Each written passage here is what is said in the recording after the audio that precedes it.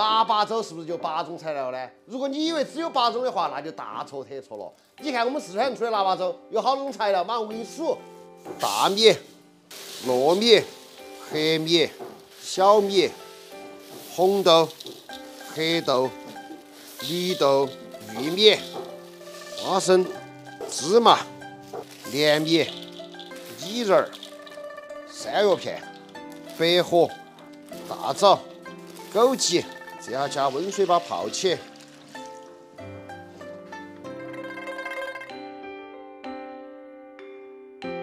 淘洗一下哈，还是要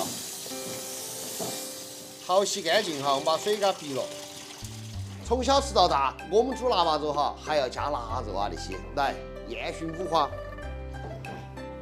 猪脸瓣儿，猪栗子啊，大吉大利。最后是广味香肠。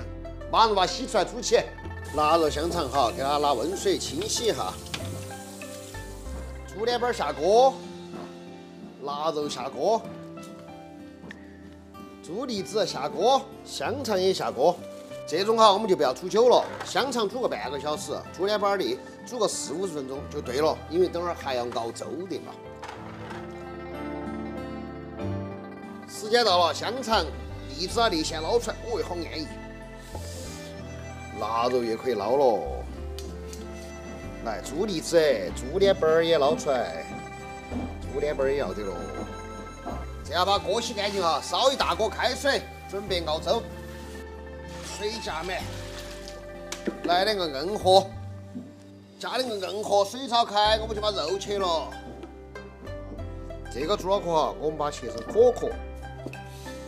为啥子先切它？因为它是我的最爱。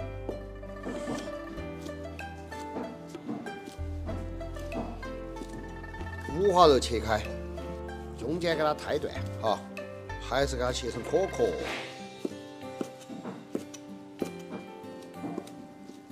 猪蹄子也切可可，大吉大利。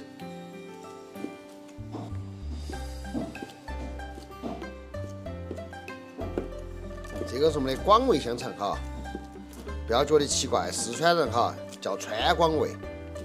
对了，也切可可壳壳。菜板上切腊肉，你不吃两坨，那简直就是懂不起。对了，水也开了哈，开始下米、下原料，一定要开水下哈，这个煮出来粥才浓。盆盆要涮一下，节约。下锅之后哈，一定要把锅底给它搅动一下。朋友们帮我数没有？好多种原材料。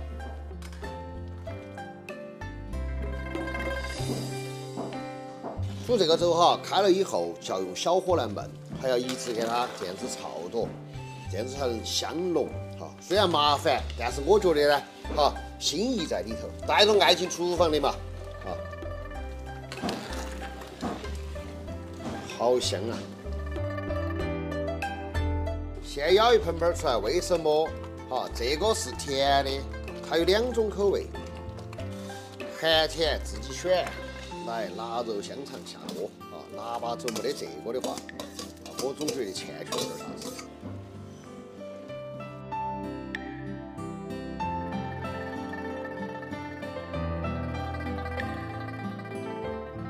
最后再加点毛毛盐哈。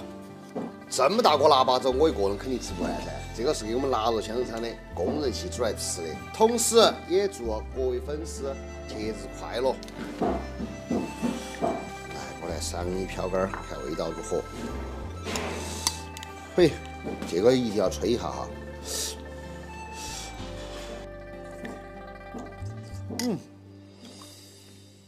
巴适版开饭了。刚才那天有老大，你吃不吃这个？我唱歌，我唱。